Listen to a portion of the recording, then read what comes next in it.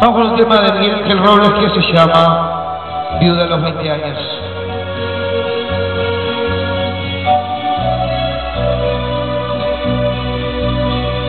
Viuda a los 20 años y con tres hijos luchó por ellos. Trabajó de cama mientras sus niños fueron creciendo con mucho sacrificio les dio un estudio, les dio consejos para que fueran hombres. Fue madre y padre, no tuvo sexo. Uno fue abogado, otro ingeniero y el más pequeño lo diplomó la calle y fue poeta loco y bohemio. El abogado un día viajó muy lejos y el ingeniero hace ya muchos años que nadie sabe su paradero.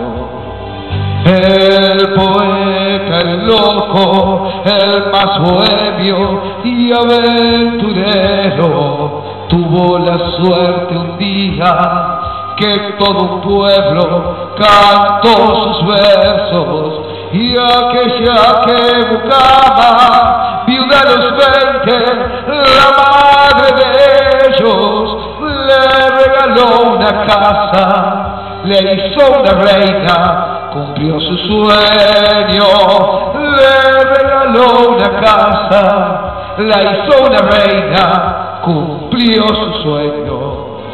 Al tiempo aparecieron los dos hermanos del más pequeño, el abogado solo, porque en juicio perdió sus sueños.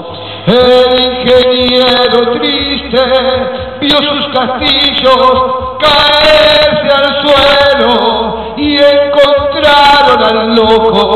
al discutido, al más pequeño, con un verso en la mano y que decía, gracias al cielo, que tengo a mis hermanos, aunque mi madre murió hace tiempo.